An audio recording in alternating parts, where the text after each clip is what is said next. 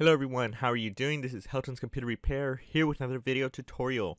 On this tutorial, I'm going to be showing you how you can fix that installation has failed error from trying to install Discord. So pretty much lots of people have having problems not being able to install Discord for some reason, but we're going to be showing a different route that we're going to extract that file to get Discord working on your computer. So let's go ahead and jump right into this video.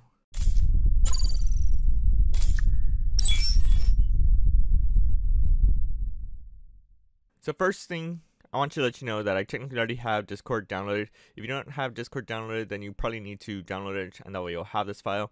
You're going to need it in a bit. But for the time period, we do need to figure out what type of, well, which type of operating system your system uses. So if it's a 32-bit or a 64-bit. So on the bottom area, open up Explorer, and then underneath this PC, go ahead and select Properties. And then right here, it is letting us know that our system is a system type and it's a 64-bit operating system. So that means that we're going to need to download a file called 7-zip for this to work. So let's go ahead and go up to the web. I'm going to go ahead and open up a browser.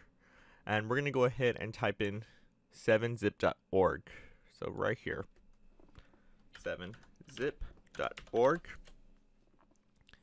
And then after transferring over, it should be there in a bit you should see that there are two versions, there's the 32-bit or the 64-bit.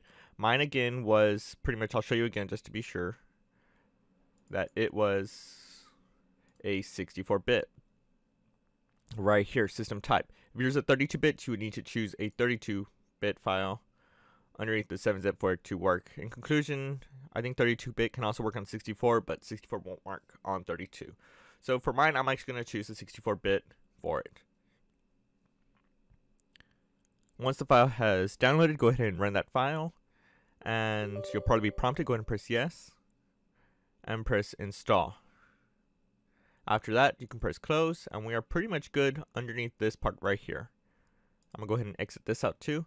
Next, I'm to go ahead and open up Explorer and go to my downloads. Depending where you have your file, the Discord file, you will need to find your location. If not, download Discord and to get this file. I'll give you the link for it too.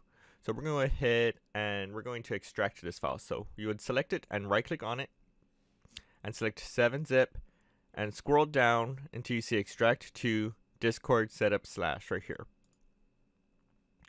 And here is the folder right there. So that's pretty much what's created.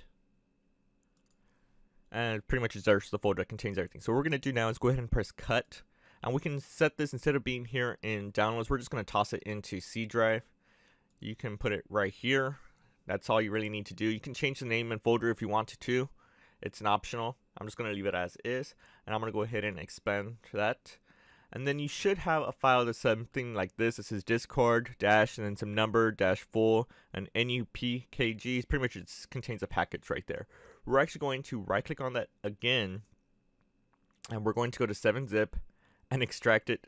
That same folder discord dash the numbers pretty much, percentage pretty much, dash full slash. So let's go ahead and select it and let it do its work again.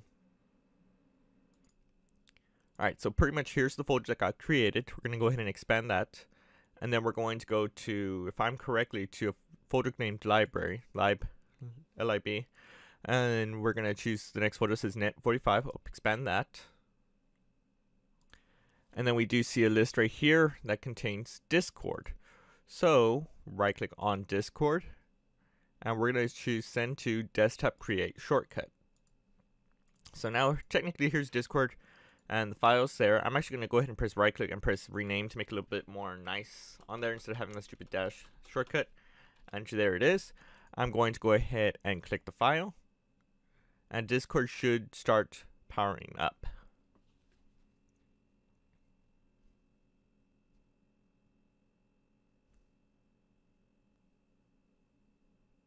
And here we have it. Discord should be working perfectly fine on your computer. If you're still getting this issue, a pop-up decided to come up from the browser. If you're still getting this issue, there might be another one that, depending if you don't have um, .NET installed on your computer, so I'll probably make another video for that. But from this point, you should be good. Thanks for watching from Helton's Computer Repair, and I will see you on the next video. Thanks for watching guys. If you disliked this video then hit that button but if you like it and you want to see more hit that like button, get subscribed, comment and tell us what other tech videos you want to see. Consider checking out our merch store, link in the video description and for the rest I will see you on the next video.